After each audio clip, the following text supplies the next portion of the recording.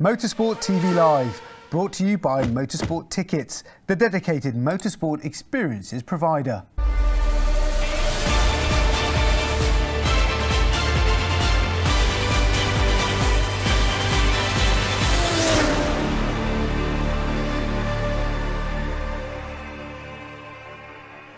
Hello and welcome to Motorsport TV Live. I'm Diana Binks with all the latest motorsport news.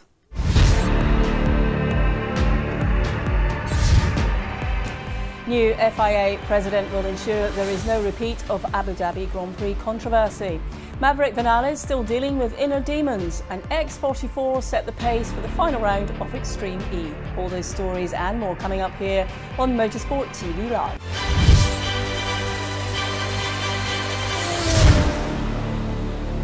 Starting off with Formula One and FIA President Mohammed Ben Sulayem has promised fans that its governing body will do what's necessary to ensure no repeat of the Abu Dhabi Grand Prix controversy. The FIA World Motorsport Council has already announced plans for a probe into the events of Abu Dhabi, and Sulayem has said he wants to wait for the full findings from the investigation to be presented before deciding on the best course of action. He thinks it would be completely wrong of him to make knee-jerk responses without fully understanding the circumstances of what happened saying we will look into the rules and we are sure that if any situation like this occurs in the future, we will have an instant solution for it, he said during a press conference in Paris, or we even avoid it. There are so many areas that we can improve. We cannot just sit and say we are good. No, it's not good enough in a sport as heavy, I would say, and as important as Formula One. Staying with Formula One and Matteo Binotto plans to talk with Carlos Sainz over the winter about his Ferrari future after a great first season with the team.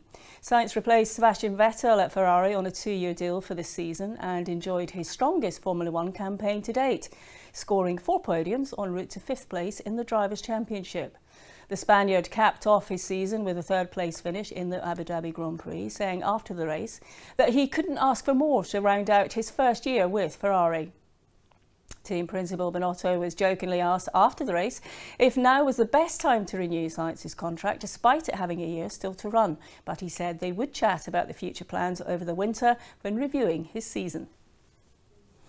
Meanwhile, though, over at Red Bull, Max Verstappen has topped the annual Formula One team principal's top 10 drivers rankings, knocking Lewis Hamilton off the top spot. The two drivers have dominated the rankings over recent years, finishing as the top two every year since 2016. But this is the first time that Verstappen has emerged ahead. In what has become a long-standing tradition created by Autosport, each of the Formula One team bosses were asked to pick their top 10 drivers of the year. The individual results are kept secret, so the team principals can answer honestly, and the tally totted up using Formula One's point structure that runs from 25 points for first down to one point for 10th. For the first time since he entered Formula One in 2015, world champion Verstappen came out on top, earning 188 points compared to Hamilton's 174. The polling result comes at the end of a campaign where his team boss Christian Horner said the Dutchman had acted as a tremendous inspiration for everyone at Red Bull. Now, don't go anywhere. We've lots more news from the world of motorsport coming up here on Motorsport TV Live.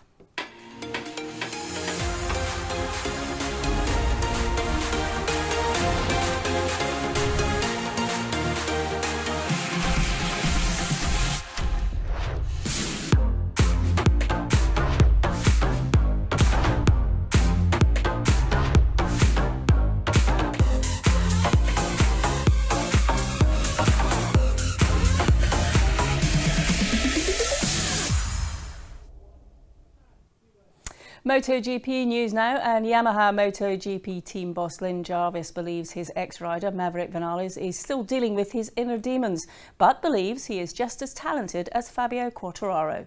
Vinales joined Yamaha back in 2017, having spent first two years in MotoGP with Suzuki, but has struggled with inconsistent form for the duration of his stay with the team, winning just eight times between 2017 and 2021. Vinales was on pole at Assen this year and finished the race second behind teammate Quartararo, but announced on the Monday after the race weekend that he would be quitting Yamaha at the end of the season.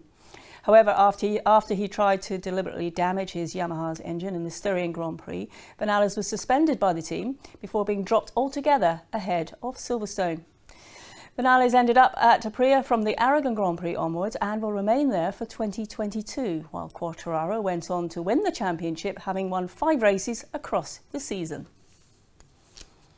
And finally, Lewis Hamilton's X44 team set the early Extreme E qualifying pace as it bids to wrestle the championship away from Rosberg X Racing in the Jurassic X Prix season finale. X44 sits 16 points adrift of Formula One world champion Nico Rosberg's squad and is on course to maintain its 100% qualifying record at the fifth and final round in Dorset in the UK. In the first session, Sebastian Loeb and Cristina Gutierrez were the last to run on the 2.36 mile course at the Bovington military base after missing their allocated qualifying squat slot.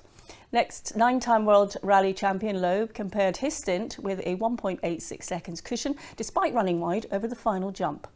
He handed over to teammate Gutierrez, who soon pulled another three seconds clear, but undid her hard work by clipping a bank and tilting onto two wheels to fall back to 1.96 seconds ahead. But Gutierrez converted the remaining advantage as she and Loeb's imperfect run combined for an overall time of 9 minutes 19.985 seconds to post the fastest effort of the round so far. Now, that's all for us for the moment. I'm Diana Binks. Join us again here on Motorsport TV Live for all the latest news from the world of motorsport. Bye for now.